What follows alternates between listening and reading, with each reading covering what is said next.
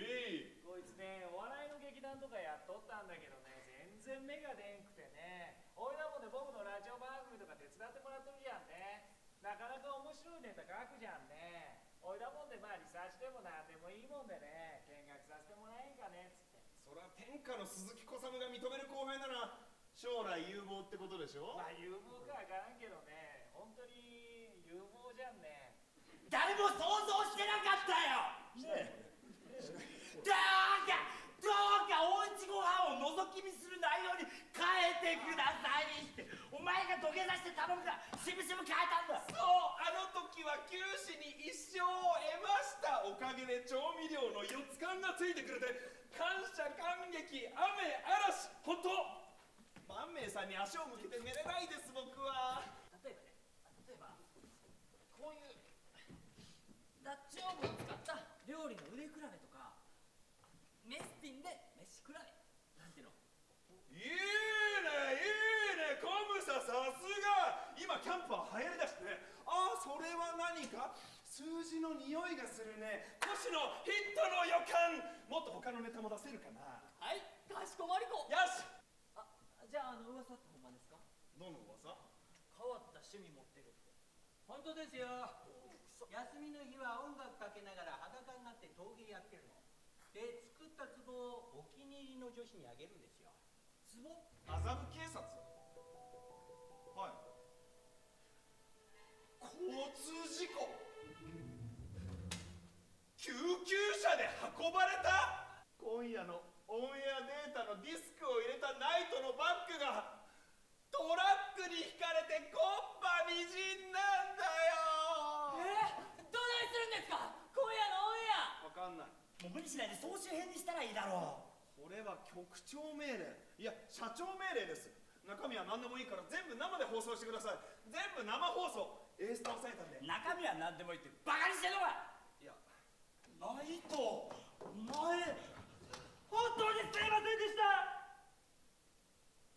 自分のせいで番組が今夜のオンエアがもっとしっかりディスクを持っておけば本当にすいませんでした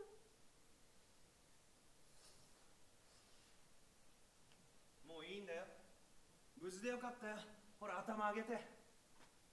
僕の先輩特許を取るなよ。私も信じられない。すごいじゃないこんなとこで働いてるなんて。まだまだ駆け出し。あこれってあの夜9時からやってるいろんなお宅の台所に行くなんとかマンボってやつでしょえー、マンボそうそうそうそれ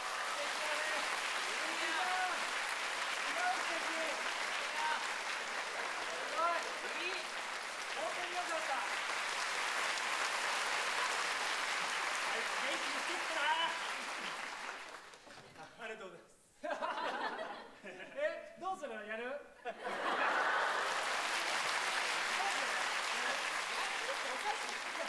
やってやっていくじゃあジャッキーのオーディションやいやでも俺も一緒にさほらなんかああればあのあのこけしみたいな誰がこけしやこけしだがマリモリあマリモリちゃん、うん。じゃあいい？モリモリマリまあモリマリ何があるのあいいね。モリマリえじゃあマリモリちゃんね。あまあモリマリね。マリさんね。ジャッキー。なんでいるの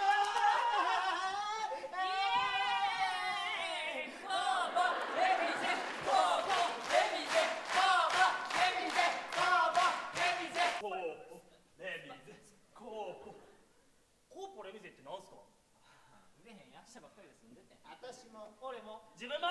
お前住んでへんやろ。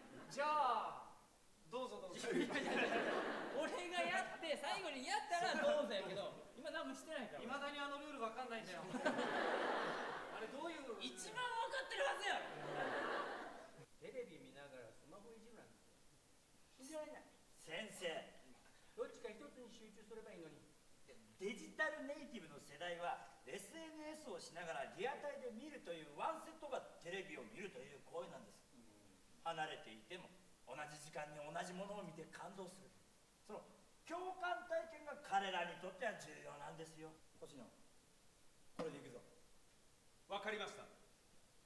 誰にも忘れられない食事というのが味そのものじゃなくて記憶に刻まれた食の思い出だ。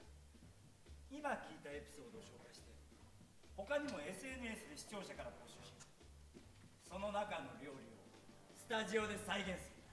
アンメイさんはアイデアを映像化することにかけては天才だから。でもあの人は頭を下げることが苦手でしょ。僕が土下座して済むことなら何度でも下げますよ。コシピマジエモいっす！かっこいい